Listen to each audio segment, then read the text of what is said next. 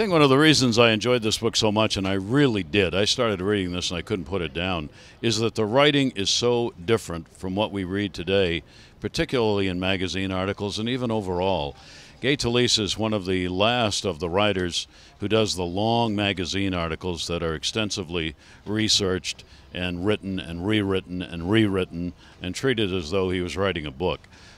The writing's magnificent. I mean, he's a tremendous researcher.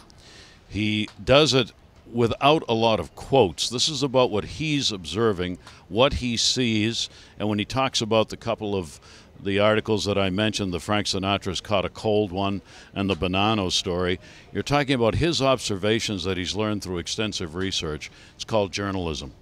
What's happened to journalism? We don't have a lot of that anymore.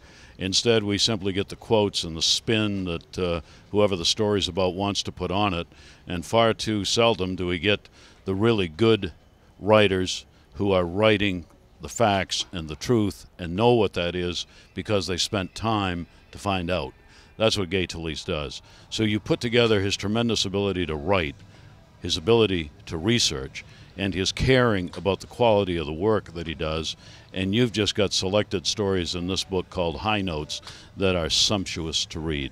And I, I, I mean, I, as I said, I started reading these and I could not put this down. I couldn't wait to get to the next story, and I'd go back and read a couple of them because the when Frank Sinatra caught a cold is probably his most renowned magazine piece, and it's just an extraordinary story, both the story itself and how he got to do the story, intending to have interviewed Frank Sinatra. It was set up to be done. Then Sinatra refused to do it, so he spent all of his time researching by talking to other people Sinatra had known throughout his life. Wonderful read. Look at the great journalism in it, look at the great writing in it, and enjoy high notes. Gay Talese.